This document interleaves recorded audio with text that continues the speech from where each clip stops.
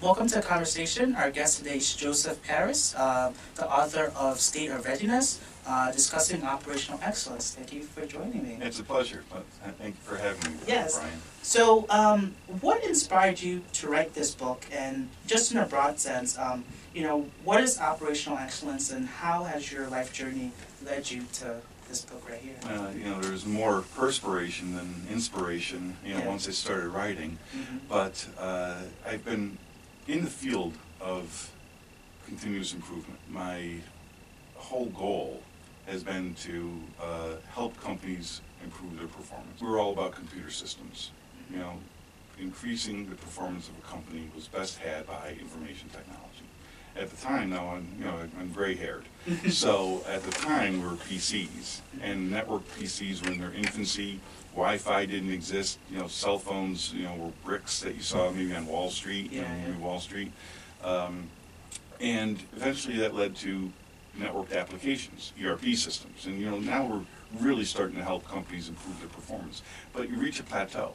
Mhm. And in my case, it came in about 2005, where I saw that the people were servicing the technology more than the technology was servicing the people. So I said they had, had- there had to be a better way.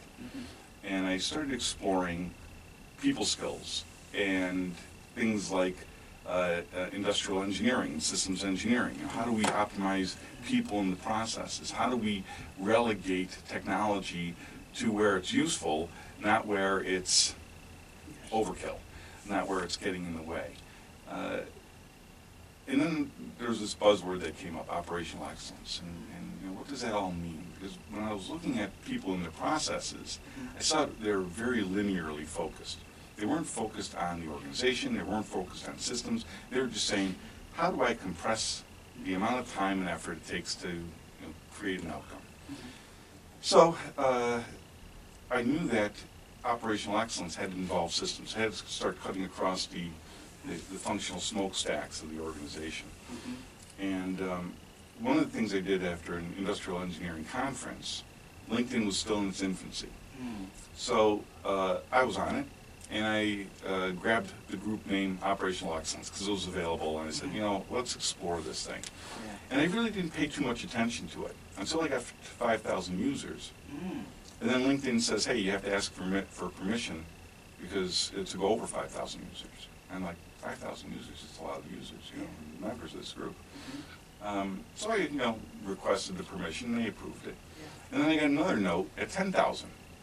And I was like, 10,000 people? Who the heck are these 10,000 people? Yeah. Now I started paying attention. Mhm. I mean, you know, I was paying attention before because I'd have to moderate it and I'd have to approve people, but I wasn't really Yeah. engaged in the group. I was just, lack of a better term, just growing membership. Yeah, yeah.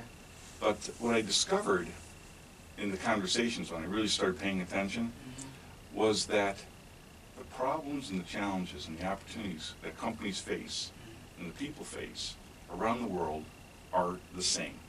You know, it doesn't matter, spin the globe, put your finger wherever it stops, as long as it's not in the ocean someplace. Yeah. And people have the same challenges everywhere. What is very different is the way they approach the challenges. You know, um, the people in South Africa, for instance, very industrious people. Things break down all the time. They don't necessarily have the supply chains in place in order to get the parts necessary uh, in a timely basis. So they're all about duct tape and WD-40. You know, I mean, whatever whatever Yeah. it's going to take, you know, chicken wire, whatever it's going to take to fix this thing Yeah, right yeah. now is what I'm going to do.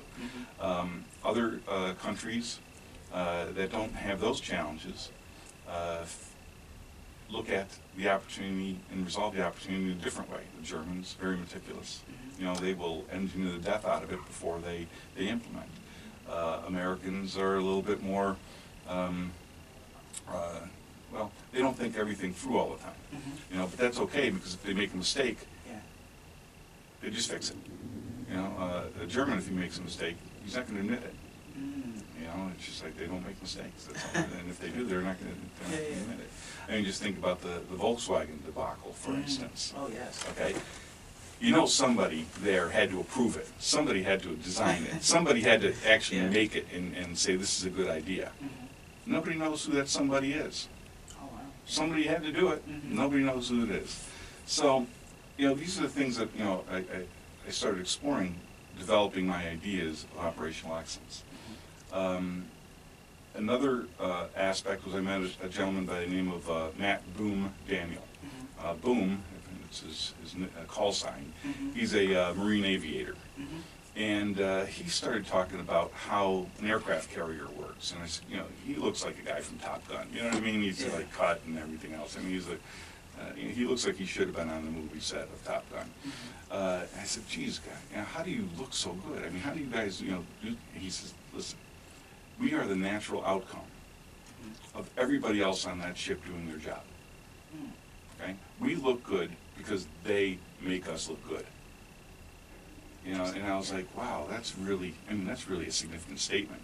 You know, here you are, you have the opportunity, you know, he's a, he's a fighter pilot, and, you know, here he is saying that, you know, he's only as good as everybody else helps him to be. And so that really started getting me thinking about what is operational excellence? You know, what are all the different dimensions in an organization that, uh, you know, make it a high-performance organization rather than a routine organization? How do you make a company work better, work faster, decide quicker, undecide quicker if it's a wrong decision or if they need to modify the decision? Mhm. Uh, So these are all the things that, you know, came up to my idea of what operational excellence is. But then, there's another dimension, uh, and that had to do with the people. Because, you know, uh, some of these form, uh, ideas were formulated during the, the Great Recession. Mhm. Okay, and during the Great Recession, I never knew how many poor rich people I knew. Mhm. Okay, uh, they were leveraged just like everybody else. You know, they didn't own the cars, they didn't own the houses, they had loans on everything. Mhm. Um, so I'm looking at these people, and I'm looking at the challenges, and and the companies wanted more output from their their people, and you can't sustainably ask more of your people indefinitely without them crumbling. Mhm. So it's not just about increasing the performance of companies, Mhm. but also the circumstances of the people that work there. And that's really, really important. I think that companies are going to uh, be faced with a challenge right now Mhm. as the unemployment's down to, what, 4.4% or something like that. Mhm. You know, where their expectations of their people. Uh, that unsustainability is going to be realized. Mhm. People are going to say, you know what, I want to work less, Mhm. you know, less intensely than I did before, Mhm. okay, during the crisis. Mhm. I want more pay. Yeah. Okay, and, you know, the companies are going to be slow to react, so what they're going, what you're going to see is, you're going to see people Mhm. um, not becoming unemployed, but, but becoming differently employed, Mhm. working someplace else because the company didn't, didn't, you know, became complacent in their, their current circumstances. So, you know, those are the things that are, are, are coming to play. Yeah, that's that's really interesting. And sort of reading the book, um, you get, you know, I got a sense that this is not just a process, but it's really about understanding the soul of a company. Mhm. And you mentioned before, um, your book really goes into the genesis of, you know, touches on Japan. It touches on the companies we've come to recognize today and how they got to now. And um, what's fascinating is, you know, being uh, a college graduate in about a week or so, um, I, I, yeah, thank you. I grew up, you know, and the many companies we want to work for is the Googles, the Apples, and it's, it's because of the sort of the, the culture and the way they approach human capital, you know, to your point, in a sense of maximizing people and really eh, how how does really understanding operational excellence, you know, get us a glimpse in how how did businesses change from the 90s to cubicles because you know if you watch movies office space and you see these Yeah. cubicles and then now companies that recruit here from binghamton or all over the place they want to be hip they want to be fun they want to have a culture that people uh, feel that they're open as well as touching on certain issues of gender equality of how do you maximize all your employees uh, despite you know uh, the politics of the world and societal norms Right, and right. such yeah Right, But, you know, um, you read a lot about, um, especially techno- uh, technology companies, where there's a, um, uh, where, say, females are underrepresented, Mhm. okay? And I was just in uh, a board meeting of the engineering department here at the Watson School, and they're telling me that, uh, they're demonstrating that only twenty-five percent of their students are females. Mhm. So if you're only graduating twenty-five percent student, you know, female student uh, engineers, then it just stands to reason that you're only going to have twenty-five percent working in the companies. you know, just, you, you know, there's gonna be some massaging statistics and whatnot, but, you know, it's, it's gonna be more, more or less than that. You're not gonna expect fifty percent if you're only graduating twenty-five percent. Mhm. So, you know, I think that gender equality has to start a lot earlier. You know, when you're in high school, when you're in, you know, when you're growing up. Um, that's the genesis of it. It's gotta start earlier. If you want an outcome, Mhm. you have to start the inputs sooner. Going to the corporate culture though, Yeah. companies become institutionalized over time if they're successful. You know, when I was growing up, Microsoft was the innovation company, nineteen eighty-one or whatever it is, eighty-two. I mean, Microsoft, were- that was the Yeah. innovation company. And then, you know, of course, Apple was an innovation company at the time. Uh, But over time, as, it's, and it's easy to be an innovation company when you're small. You know, marketing is that, in that corner of the garage, and, and, and sales is in this corner of the garage, and, you know, production, supply chain's that, and finance, you know, we're all, if I need something from marketing, I just turn my chair around and I say, hey, I need something from marketing. Mhm. When you become big and global, that intimacy doesn't exist anymore. And in its place, we have to put in controls, or we feel that we do. Um, Google, they, when they first went, uh, did their IPO, they made a big deal about twenty percent time. You know, if you work for Google, you can spend twenty percent of your time at Google thinking about whatever it is that you want. They did away with that a few years ago. Mhm. Now, nobody gets twenty percent time unless they specifically request it. And then they have to tell them what it's for, Mhm. and, you know, it- the whole spirit of twenty percent time is gone, you know? Yeah. And, and the reason being is because that person reported to a manager, and that manager was measured on that manager's out, outputs.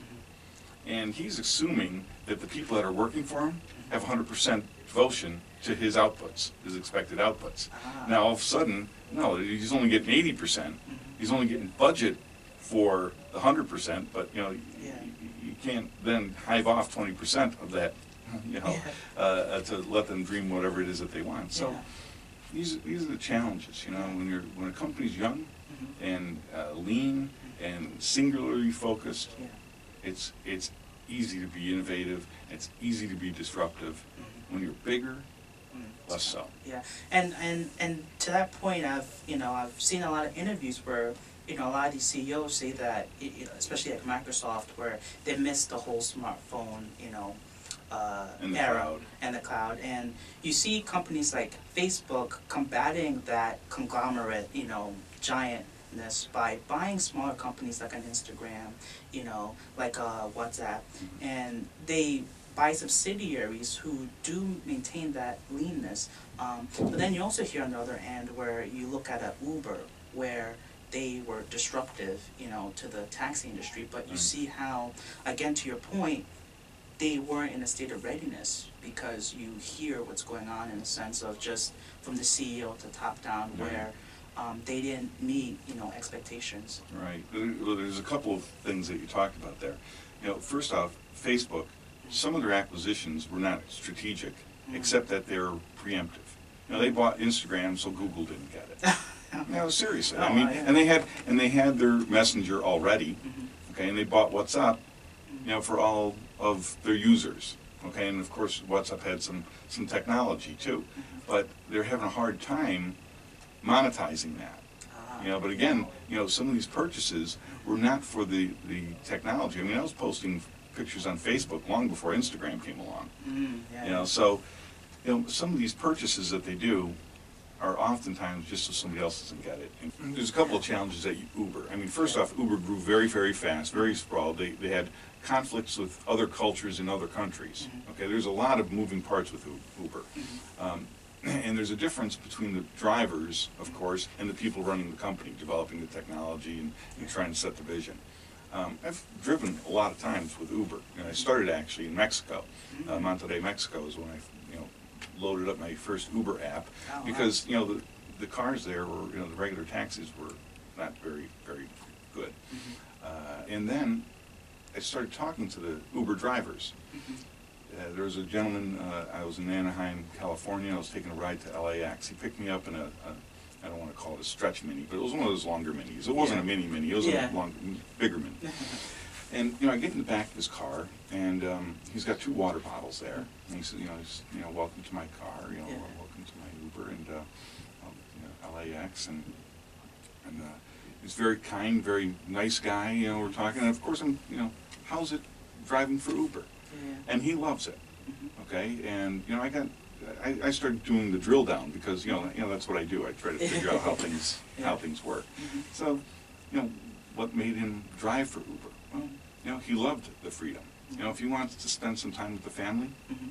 he just doesn't clock in. Mhm. You know, and he spends time with the family. If he knows there's a big event and he can make some extra money, then he clocks in.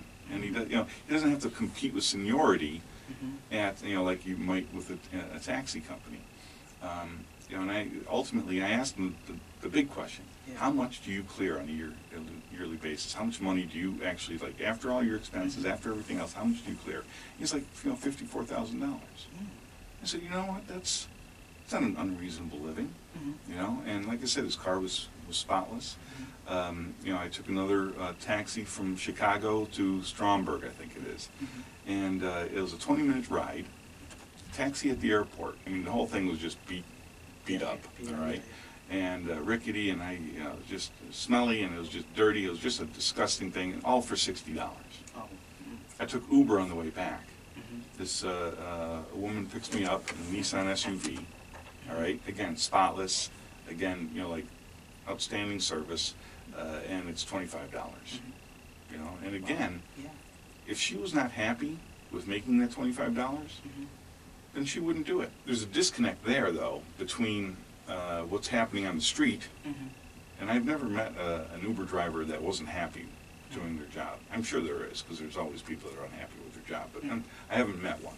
Mhm. Um, but there's a disconnect between that layer of employment or, or worker uh, and uh, the leadership of the company, who obviously has a very aggressive, macho persona. You know what I mean? They're just like they're up and comers. They got a lot of pressure on them. They got a lot of things.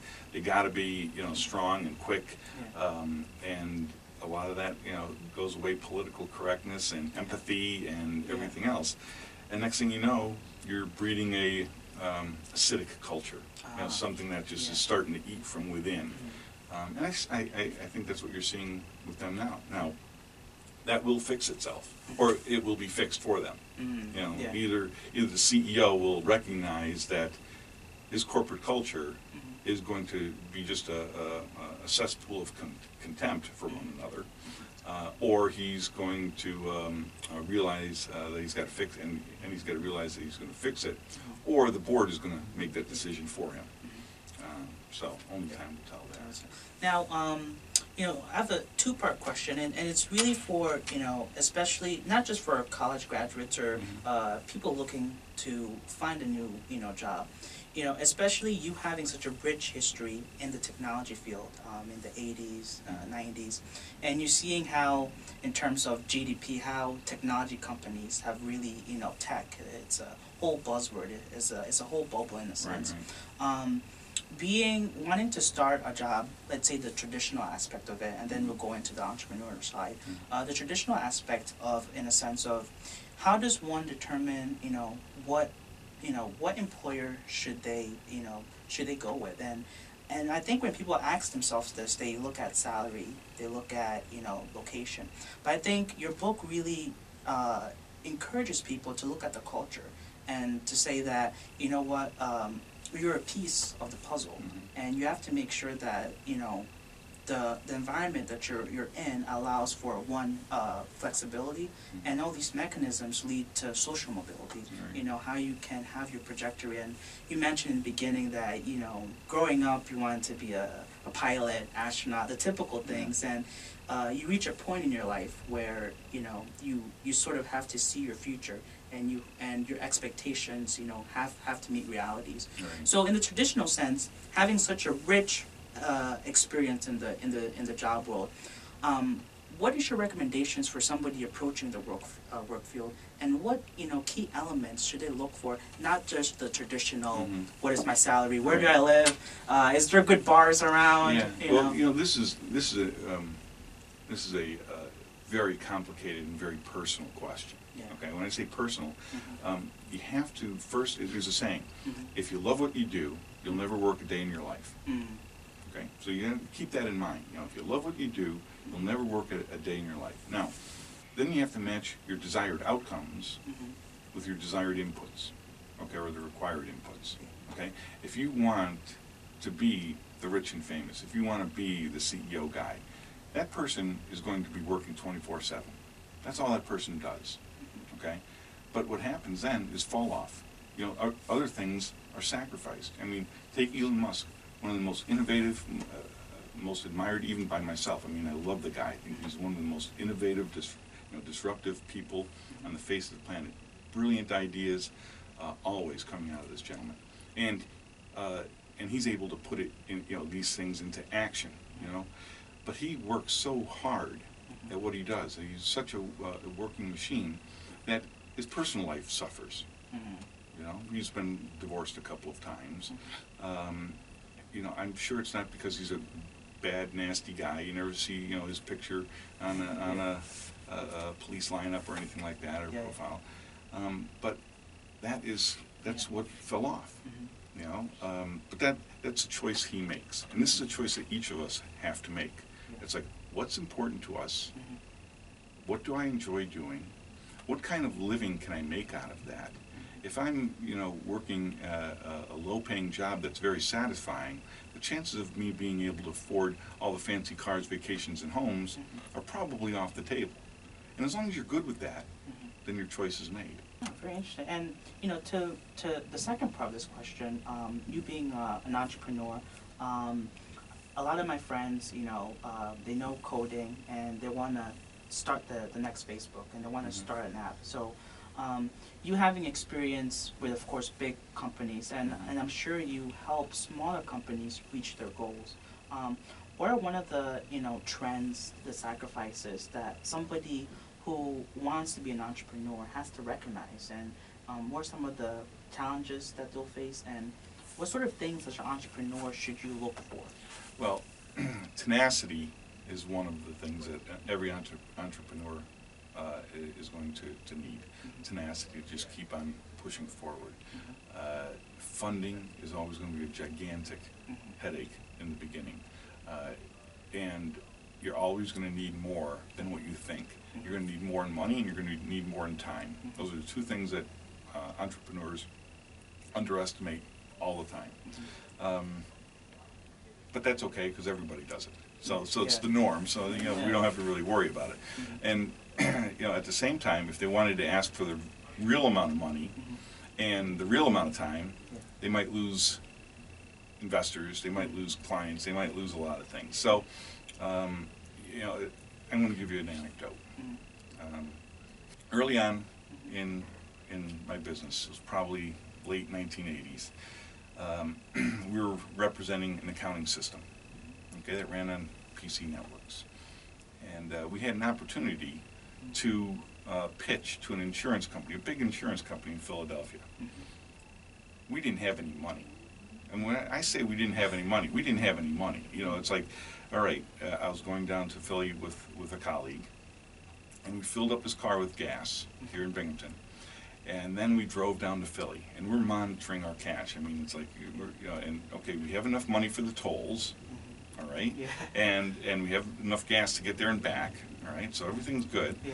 What we didn't count on Uh, was that we had to pay for parking in Philly. Ooh. Okay, now this is a problem. You know, this is like twenty bucks. Twenty bucks we didn't have. Mhm. So the presentation is going great. It's going outstanding. I mean, everything is going happy and, and everybody's having a great time. And then uh, the, the prospect says, let's go out to lunch. It's another thing we didn't plan on. And it's like, oh my God. And when I say we had no money, we didn't have any money. And We had, my credit cards were maxed out and we had no money. Okay? Wow. So, um, fortunately, they volunteered quickly, oh, we'll buy. Mhm. Okay, and I was like, oh, good, thank God. So, we're at lunch, and after lunch, uh, I give my colleague all my credit cards with all my PIN numbers. Mhm. I said, go to an ATM and try to find 20 bucks on one of these cards. Mhm. Okay, I don't care which one it is, but you're, just try to find 20 bucks, you know, so you get out of here. Um, and so he takes off, And uh, I go back to the meeting, and where's your colleague? And I, I just said, he's checking in another colleague while, or client while we're down here. You know, Yeah. white lie, you know, whatever. Yeah, yeah. So, the presentation goes great. They want a proposal. Mm. My colleague comes back, he found twenty-five bucks in one of my accounts. Oh. So we were able to get my car out of hock, and we're also able to get a cheeseburger and a bottle of water Mhm. uh, on the northeast extension, Pennsylvania northeast extension on the way, way back. Mhm. But, um, uh, man, that, that's Yeah. tenacity. Now, the, the, the thing is, we won that job. Mhm. We won this project. Mhm. It was a big project. It was Oh. very, very nice that we won this project. Yeah. Uh, but this is, Mhm. this is the life of the entrepreneur, Mhm. okay? The tenacity, the having no gas in your tank.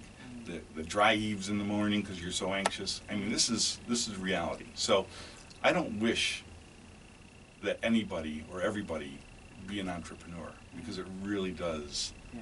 uh, take a lot of intestinal fortitude. Yeah, yeah, that's that's a really interesting story, and I definitely agree. Uh, you know, it does take you know it's a lot of sacrifices along the way that have to be made. Um, now, in terms of the business economy we are in today, um, one of the key words that you know we always hear is globalization. Mhm. And to me, you are a symbol of globalization. You live in Frankfurt, Germany. Um, you come down to Binghamton, uh, New York. Uh, you are Watson uh, board member, and uh, and again, your um, your business, uh, XONITEK Consulting Group. You must have clients all over the world, and um, you spoke about how different uh, countries that you've been to operate. So, in a sense of globalization, what should people understand about it? There's a lot of fears about globalization, and not in the sense of, um, you know, there's always going to be jobs, obviously, out there. But again, to your point in terms of wants and in terms of students, um, you sort of, there has to be preparations beforehand. Right. Um, so, what are some of the preparations people should make for globalization? Well, if, if you're thinking about doing business overseas, the first thing I would suggest, and I'm talking about in a meaningful way, I'm not talking about maybe outsourcing some writing uh, Mhm. to, to, you know, somebody in, in the UK or something like that, but I'm talking about some, something that involves supply chains, Mhm. okay, or something that in- involves masses of people. Um, The first thing that you need to do is go there. So you really can't understand how uh, a people in a country work unless you go there, what challenges they're gonna face. Mhm. We had a, a, a big project in Russia that went on for several years. Uh, and the culture in Russia is one of punishment, okay? If you work for a company, the culture is punishment. If you make a mistake, you're gonna get punished, okay? Therefore, people don't wanna make a decision, because if they make the wrong decision, they're gonna be punished. All right, so what happens is, that nobody makes a decision, until it's a crisis. Then the crisis makes the decision for you, nobody gets to blame, and everybody gets to work the crisis. So what you have is a series, an ongoing series of crises, one after another. Mhm. Um, and that's no way to get ahead of the game. You're always behind. If you're always chasing the crisis, then you're never gonna get ahead. Um, which is really quite unfortunate because, you know, being in Russia several times, um, having worked there and what have you, uh, you know, they have every, they have no reason not to be an economic global superpower, just like the United States. They have smart people, Mhm. you know, they have n- every natural resource they need. They don't have to import anything um, you know, except that their inefficient, built-in inefficiencies mean that, means that they are, you know, in need of importing things. But, you know, if they had their act together, they could be an economic superpower. But their culture of, of punishment prohibits that. Now, you flip that over to the United States, you know, we don't have, um, in the business world, we don't have a culture of punishment. You know, in, in uh, Silicon Valley, you're almost a nobody unless you've gone bankrupt at least once, you know? And, you know, there's a lesson there. If you've gone bankrupt once, you know what it looks like, you know, coming down the pike. So the chances of you, you know, having, you know, gained that wisdom and doing the same thing again is very, very small, or considerably smaller. You think about a company in Germany or in France, Mhm. if it goes bankrupt, if I own a company in Germany or France and it goes bankrupt, it might take five to seven years to unwind that, Oh, wow. okay? And in the interim, I could, I might be prohibited Mhm. from owning a company ever again. Mhm. Here, General Motors Mhm. goes in and out of bankruptcy. General Motors, in and out of bankruptcy in a month. Oh, yeah, yeah. You know, Mhm. there it's not so much. Mm. Yeah, and, and in terms of you know processes, in your book you mentioned how, you know, and I, I didn't know this. Uh, I'm also a history major, and um, how the Empire State Building took about you know 440 So- yeah, yeah. 40 odd days. Yeah.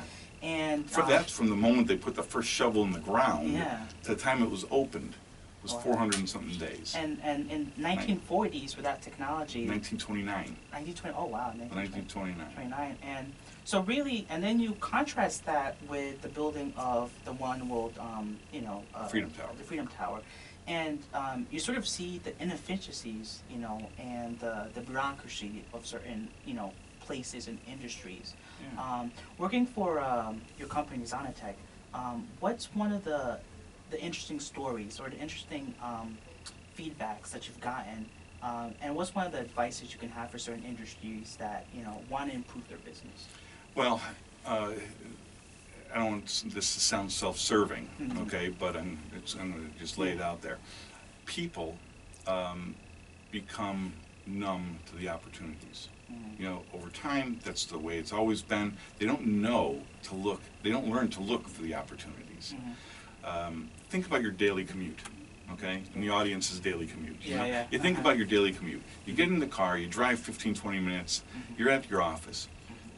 If I asked you to give me a detailed report of what happened on that trip, how many stoplights you, you, you uh, had to stop at, uh, was there anything unusual that might have come up? Um, was the McDonald's sign on or off? I mean, whatever it might be, can you give me a detailed description of your trip? Hardly anybody would be able to do it because it's so routine that they just go through it.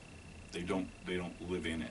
Mm. All right, so um, I think that uh, uh, the a key accelerant to an organization going through a change or needing to go through a change is to get an outsider looking at the opportunity. Ah. Okay, to be able to challenge it. You know, it's uh, you know the typical conversation might go something like that. You know, it's consultant comes in and says, you know, why do you do it that way? Well, we've always done it this way. And, well, why don't you do it this way? Because you know, wouldn't that be better? Mhm. And then they look at us and like, wow, you're brilliant. Well, you know what? We're not particularly brilliant. We just don't know any better.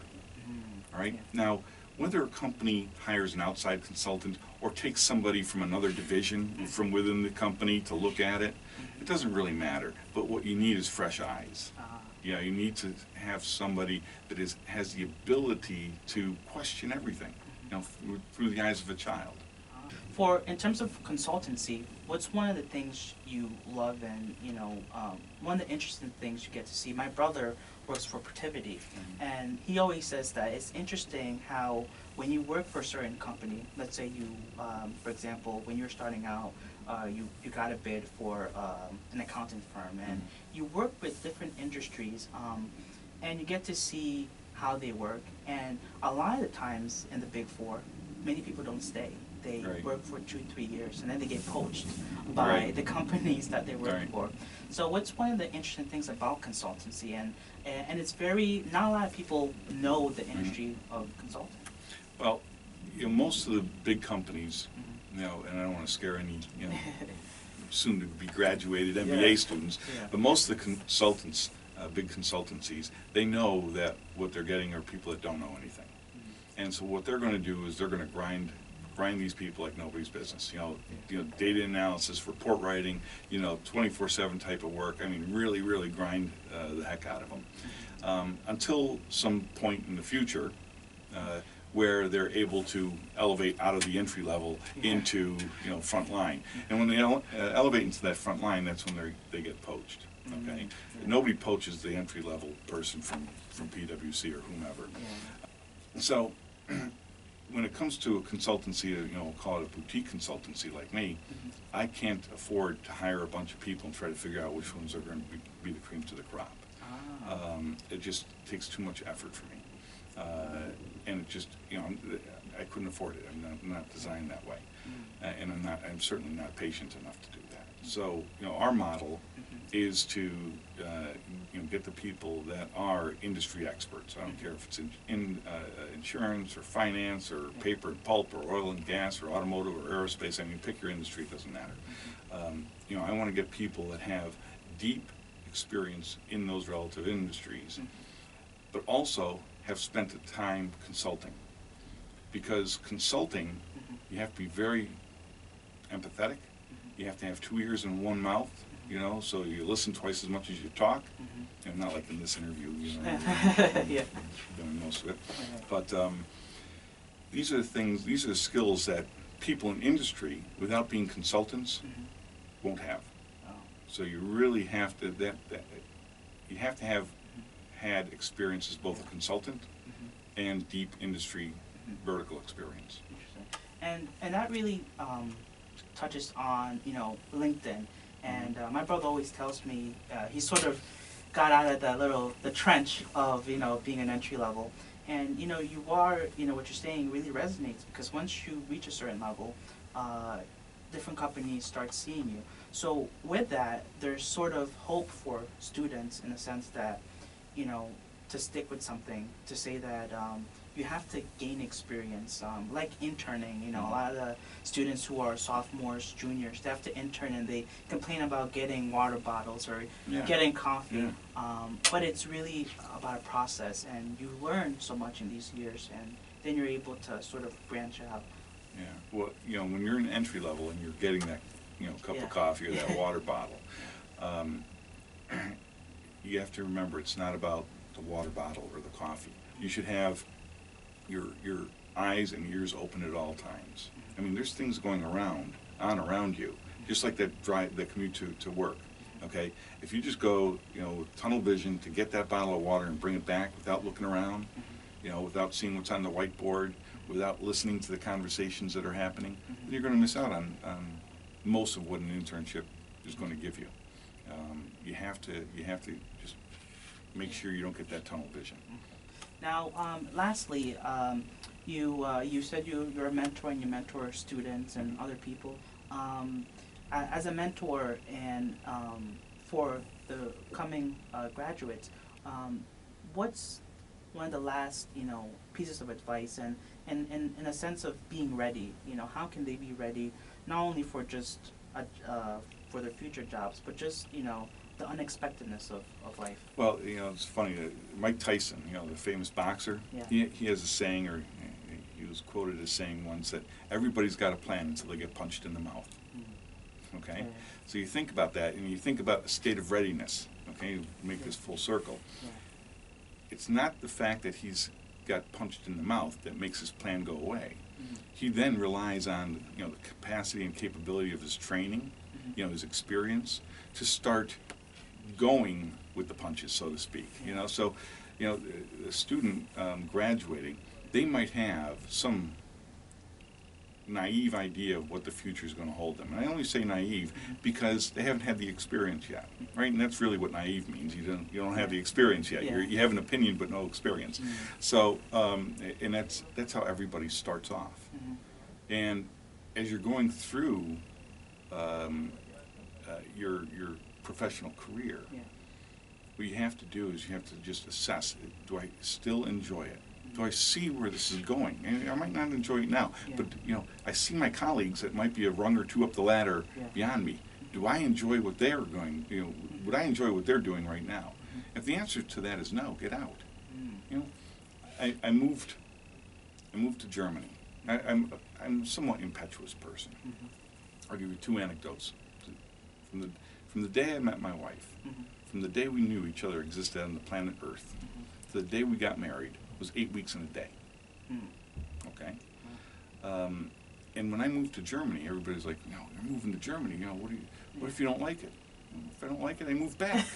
You know, it's like life is full of do-overs. Yeah. I mean, life is really, really quite full of do-overs. Um, and if you don't like Mhm. your life's tra- uh, trajectory, whether it's personal or professional, Mhm. You got to change it.